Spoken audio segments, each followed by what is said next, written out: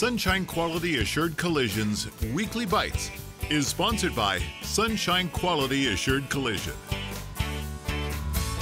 Hey everyone, welcome back to the show. Rob Feenie was just using his frying pan as a banjo and you missed it. Of course, he is of uh, the Cactus Club Cafe. How are you, Rob? I'm great. How are the holidays for a chef? Does everybody ask you to cook? Uh, yeah, but I'm. look- You know what? The funny thing is, I'm actually okay with it. It's it's uh, it's one of those times a year for me. It's funny because I'm going back. I'm back to the Winnipeg, um, and uh, I'm cooking. That's as soon as I arrive, I cook, and then I've got yeah. But I mean, I love it though. It's something for me that any chef, I think that you know, especially when you're at home, it's a little bit more relaxed because you're sort of down. You know, you know, there's no. Well, I shouldn't say there's pressure. There is. I got my. Well, you can kids. have a glass of wine, you can chill out in the Yes. kitchen. Now, do you do a traditional turkey dinner with your family? Is that what you do? Well, it's funny because I normally do every year. It's one of those things that for me, you know, the Jack Daniels brine turkey. I think I did that something similar You with you did guys. that uh, last year, I think. Yeah, and uh, I've been doing that for years. But I think that this year I talked to my wife when she was like, she said, "Can you do the, your, your short ribs?" Or Mm. so it's kind of what my wife would like. So I think I'm going to cook around my wife. You're so smart This year is going to be un, not tr- what's the word? Non-traditional. There. Oh. Okay, so we're doing something non-traditional right now. Yes, what are we making? Well, we're going to do. You know what I wanted to do is I actually was thinking. I was telling you earlier. I wanted to do something that was a little bit, a little bit more fun. And this is something over the holidays. I think you can do not like anytime you want. So what we're going to do is I've got Nothing these. says fun like sauerkraut. These are pork chops, but these these pork chops have been smoked, right? So these Okay. are these beautiful loin. So what Do you I've just done. get those at any butcher? The smoked ones? Yeah, as a matter of fact, yes, the, you can get these at Granville Island. Okay. Uh, and yeah, they're they're available. And, and the reason why they're they're so good is that smoke is the, is going to give what we're going to do, which is the sauerkraut mm-hmm. base dish I'm going to do. So this is kind of an Alsatian because I worked for Michel Jacob in, in Vancouver here. Yeah. So I worked in Alsace. So this is kind of Alsace slash Asia, a little bit of a combination. What I've done, and I'll just show people ahead of time, Okay. is the sauerkraut, because I'm going to show you the sauce quickly, but the sauerkraut is, you can, any, just the regular sauerkraut, the store-bought sauerkraut, what you want to do is buy it and then strain it out of all the liquid. Yeah. Okay, once you strain out all the liquid, it's really simple after that. You take it, put it in a pot, you make a little sachet, what we call, or you can take a little bit of uh, bay leaf. Yeah. There's some star anise, okay? We got some coriander, and there's some cloves, right? You That's an make a little bit of sachet. combo. It's a great combo. So you take that into a little packet, you put that in with the sauerkraut, and then that beautiful bottle of Riesling over there. Any Riesling you like. This is Kung Fu Riesling from Washington State. Beautiful Riesling, by the way. Yeah, it's beautiful. Well, well, yes. Let's get into the Cheers. wine. Cheers. Nice little to- are we allowed Riesling. So? Riesling with the sauerkraut. Sorry, I, I, I, I going to have a cocktail in the middle of this. Can't do that. I got to focus. Well, I can. What are we having? So the uh, Riesling from Kung, Kung, Kung Fu Riesling. But this, what, we, what you do then is, like I said, you've got the sauerkraut and you have your little sachet. You take a little bit of the Riesling, pour it in, and then cover it.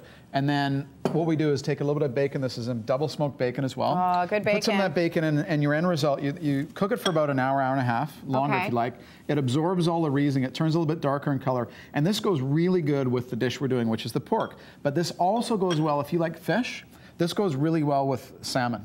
Believe it or A not. A lot of people are kind of afraid to use sauerkraut, but You know what? it's, It's delicious. it's it's really good. I mean, can you you can imagine that? You add a little bit of cream to that, maybe. Put a little piece of salmon on top. Mm, yum yum. and what, have we got in our little? So this is what I've done is we've taken the same pork, right? Yeah. With this sauerkraut, put it into a little bit of a casserole dish and layered it, right? So we've cooked it, and on the bottom I've got another one on the here on the So bottom. So you've got both uh, pork Yeah. chops just kind of buried in there. So this is going to soak give up all the flavor. That's right. This is actually an Alsace because we're going to finish this in a sec. Okay. This is an Alsace what you get, which is called uh, choucroute garni. Um, what that means is the choucroute with the garnishes, and that's usually a, a bunch of the pork pieces. Okay. So we're going to plate this in a sec. So I've got. Okay. the pork there, and the sauce is real simple. You just got a little bit of this is a little bit of ice wine.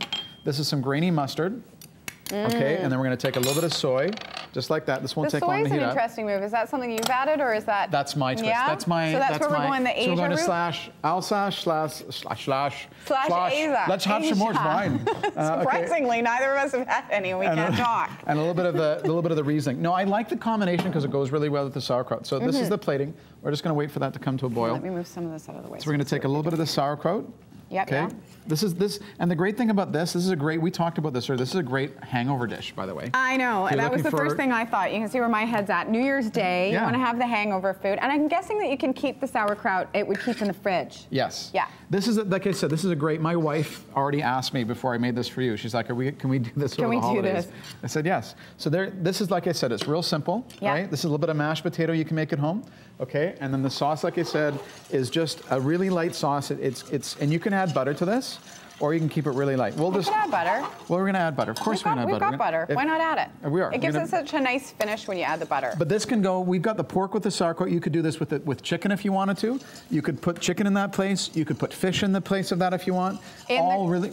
in the crock pot. No, I wouldn't do that in the crock pot. The No. crock is just for the pork. Okay. But the, but the actual sauerkraut itself is a great, and same with the mashed potatoes. So you can sub in other proteins if you want. So the sauce, like I said, this little bit of butter sauce we made. Mm. Just let it melt. Yeah, just let it melt, mm. and then we're just going to pour this on the top. And I love the grainy mustard with uh, the pork. Yeah, this is. sorry, that's the vinegar. Yes, you inhale the vinegar. I do that. You know what? I don't know. I got ever since I, I used to call vinegar vinegar when I was a kid. So whenever I smell the vinegar, I guess my my go Yeah, crazy. I think everybody has that But- reaction. so this is a great dish. good. So I just thought this is something neat for people to try Yeah. at home. It's not that difficult to make, like I was telling you. It's something if you make the sauerkraut, this can actually stay in your fridge for weeks, and it actually gets better when you keep reheating it. The Yeah. flavor gets better and better it's, and better. it's so one of those things that really does get better. and in terms of price, it's a very economical dish to make because you're not going to spend a lot of money. You could Yeah. literally feed a family of, let's say, four or five for like less than twenty dollars for everything, Amazing. right? Yeah. Now, do we have the lemons here just for show, or are we supposed to do something with them? Uh, I could have put some in the sauce, right? we It's can't- true, though, but we no, it's true. It's true. But we're I wasn't freestyling. No, but um, but your recipes, people email them. email uh, us if you want Rob's recipe. Uh, what did we call this dish again? Uh, It was you distracted me with the lemon. Oh, en, en français, this is choucroute garni uh, with some pork and So uh, if you can potatoes. spell it, you can email us at urbanrush at shaw.ca and uh, we'll send you the recipe. Uh, we're going to take a quick break, and when we return, Mike's not here, so I'm going to show you 950,000 cat videos right after this. Don't go away. I just realized I'd use my fingers to eat that. Weekly Bites is sponsored by Sunshine Quality Assured Collision.